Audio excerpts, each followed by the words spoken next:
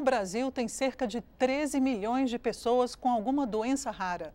Essa é uma estimativa. O deputado Diego Garcia, do Podemos do Paraná, foi relator de uma comissão da Câmara que tratou desse assunto.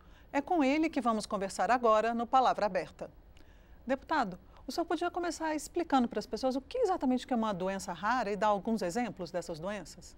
É, segundo as informações e dados do, da Organização Mundial da Saúde, é, é, considerado, são considerados pacientes com doenças raras, tem uma estimativa de que a cada 100 mil nascidos vivos, 65 nascem com alguma anomalia congênita, alguma malformação, que são as chamadas doenças raras. E no Brasil tem esse número, essa estimativa, mas ela, é, nós não temos como provar essa estimativa por conta desses dados de que em torno de 13 milhões de brasileiros tenham um, algum tipo de doença rara. É muito difícil fechar esse número porque hoje falta informações. Então, é, nós tentamos até em, é, através de requerimentos de informação a todos os estados que nós fizemos no ano passado, mas não obtemos êxito nas respostas. Então, falta informações que possam comprovar um número mais aproximado daquilo que seria o real de pessoas com algum tipo de doença rara no nosso país. As doenças raras, é, mais de 80% delas são por fatores genéticos e os outros 20% se dão aí por outros fatores. Então há uma grande prevalência por conta de questões genéticas e na maior parte delas se dá por problemas relacionados a fatores é, com relação à consanguinidade.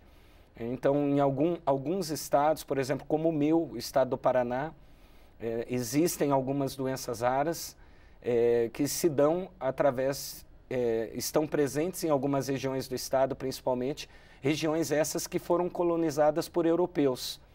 Então, há um problema ali, um conflito, porque é, no passado teve aí o casamento e a união é, de famílias né, da, de pessoas da mesma família, então primos com primos que foram se casando e, e isso geraram aí é, é, essa prevalência grande de doenças raras em algumas determinadas regiões. E o relatório aponta o que é possível fazer para apoiar essas pessoas?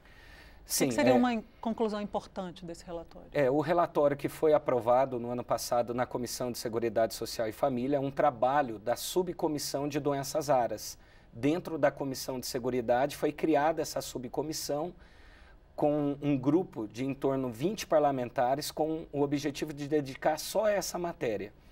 E o relatório ele faz diversos apontamentos. Um deles é sim também voltado a esses pacientes, que seria o quê? É, o aumento dos centros, de, é, dos centros de referência, que são aqueles capazes de ajudar os pacientes a conseguir fechar o seu diagnóstico. E, como fruto e consequência disso, a partir disso, começar algum tipo de tratamento. Agora, a gente tem que lembrar que a maior parte das doenças raras ainda não possui nenhum tipo de tratamento, nenhum tipo de medicação. O então, relatório fala também sobre treinamento, né? Parece que os profissionais precisam ser treinados para apoiar essas pessoas. Sim, hoje falta no país geneticistas. Então, por exemplo, nós temos no relatório nós apontamos são cerca de pouco mais de 300 geneticistas no Brasil. Então você imagina, 300 geneticistas para uma população de 210 milhões de brasileiros. Então, é, existem hoje nos estados, e nós trazemos isso no relatório, é, pelo menos cinco estados do Brasil não tem nenhum geneticista. Outros cinco têm apenas um geneticista. Então há uma dificuldade muito grande de ter esses profissionais, que são aqueles capazes de poder orientar o paciente a fazer os exames adequados e aí conseguir fechar o seu diagnóstico. Há dificuldade na formação dos médicos, que hoje também é uma formação muito superficial com relação à genética. E faz com que os médicos, em grande parte dos casos, é muito comum a gente ouvir isso entre os pacientes, que passaram por 10, 15, 20 médicos até conseguir chegar ao diagnóstico. E por quê? Porque os médicos não passam por nenhum tipo de formação adequada capaz de que eles possam a partir do momento que é, recebem esse paciente lá no posto de saúde, lá na unidade básica de saúde, consigam já orientar precocemente esse paciente para a realização dos exames de forma correta.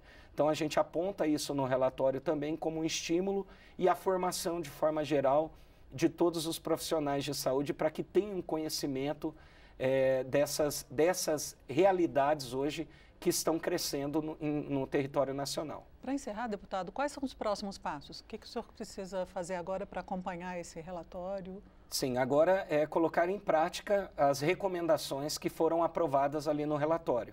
Então, nós estamos visitando centros de referência, já visitei alguns centros no Brasil e a, a expectativa é que até o final do ano nós possamos ir em todos os centros de referência para ver em loco a realidade, os problemas, o que está dando certo é, é, dentro desses centros que já estão habilitados junto ao Ministério da Saúde e o que não está dando certo, para que a gente consiga aprimorar o serviço que hoje está sendo prestado por eles e, ao mesmo tempo, fazer um trabalho para estimular a habilitação de novos centros no Brasil.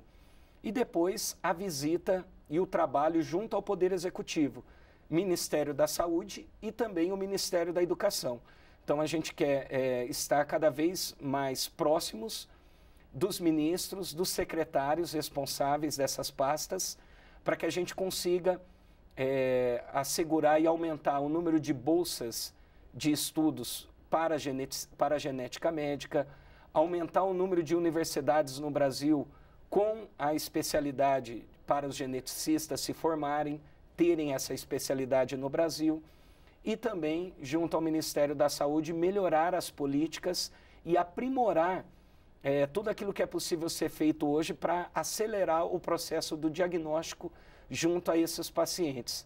Então, essas são as ações concretas que nós esperamos ao longo do ano ter êxito e desenvolver para que o relatório ele saia do papel e, e tenha efeito de fato e isso possa retornar para a população brasileira. Obrigada conversamos com o deputado Diego Garcia, do Podemos do Paraná, sobre políticas públicas para apoiar pessoas que têm doenças raras. Até a próxima.